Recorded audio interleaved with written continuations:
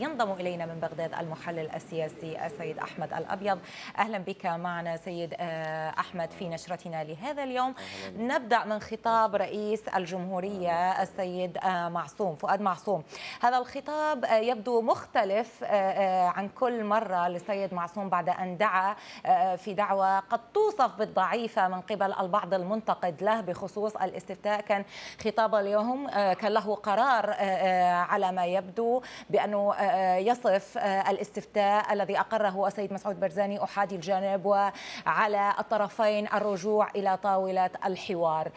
كيف تقرأ هذا الخطاب هذا اليوم؟ تحياتي لك وجمهورك. الحقيقة بهذه اللحظة هو تصرف كرئيس جمهورية العراق بالمرحلة اللي سبقتها كانت أكو قضيتين. يتصرف كونه أحد قيادات الزعامات الكردية والثاني كانوا لديهم أمل بأن يتراجع السيد البرزاني عن موقفه في قضية المضي في الاستفتاء.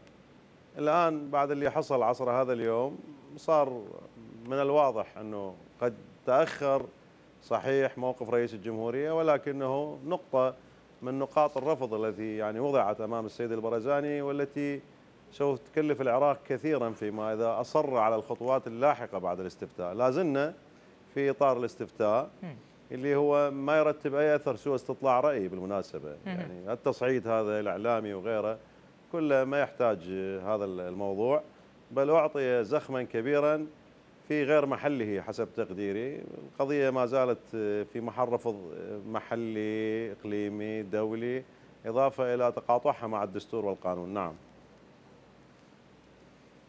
طيب ولكن يمكن ذكر هذا اليوم.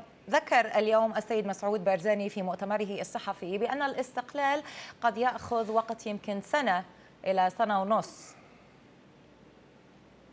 هو لا يستطيع أن يحدد ذلك الحقيقة. هو يعرف هناك قرار لا أقول يعني أمريكي تحديدا وإنما قرار دولي لن يعني يسمح بالاستقلال. وبالمناسبة في هذا المفهوم مفهوم الاستقلال والانفصال في تباين كبير. هو اليوم ركز على موضوعات الاستقلال. مم. الإقليم أصلا من 26 سنة عمليا هو مستقل عن العراق وازداد استقلاليته الحقيقة. تركزت بعد عام 2003 ولذلك هي محاولة تغطية الحقيقة. هو الآن إذا اسمحتي لي بهذا الوصف للأسف مع اعتزازنا بالسيد البرزاني وتاريخه كمن يحمل عود الثقاب ويقف يعني في طرف الغابة. هذا العود من الثقاب قد يشعل الغابة الحقيقة رغم صغره بالنسبة للغابة.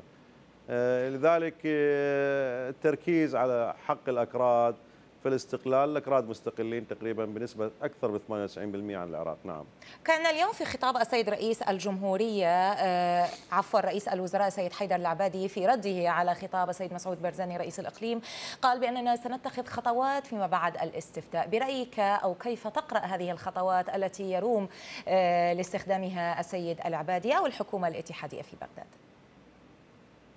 في ستي خل أقول لك فت قضية مهمة. بما يتعلق بالاستفتاء هنالك تقريبا أربع أو خمس نقاط يعني هي محل الإشكال الكبرى. اولا التوقيت ثانيا حدود إجراء هذا الاستفتاء ثالثا التداعيات التي سوف يترتب يعني بعد الاستفتاء اللي تسالين عنها جنابك. رابعا ما يترتب من أثر على هذا الاستفتاء اقليميا ومحليا. الأول الحقيقة حدود يعني توقيت الاستفتاء معروف أصبح أنه شك يعني شكل في خاطره وذهن كل المتابعين والمهتمين قادة وسياسيين أنه في غير محله بل حتى نظر له أنه غدرة. غدرة في لحظة انتصار العراق على داعش هناك من يحاول تفكيك البلد. هاي وحدة. اثنين حدود إجراء الاستفتاء. لو كان بالخط الأخضر هذا وأقصد في ذلك هي حدود الإقليم وليس على الخط الأزرق. بالتأكيد كان أخف الأزمة كانت هي حدتها أخف. لذلك رئيس الوزراء اليوم واضح جدا أنه سوف لن يسمح للبيشمركه تحديدا اللي هي ذراع الإقليم العسكري أن تسيطر على هذه المناطق نعم. بحجة الاستفتاء أنه قد صوتت قد صوتت لصالح الانفصال. نعم. يعني أشكر حضورك ويانا سيد أحمد الأبيض محلل السياسي شكرا. من بغداد. شكرا, شكرا جزيلا شكرا. لك سيدي.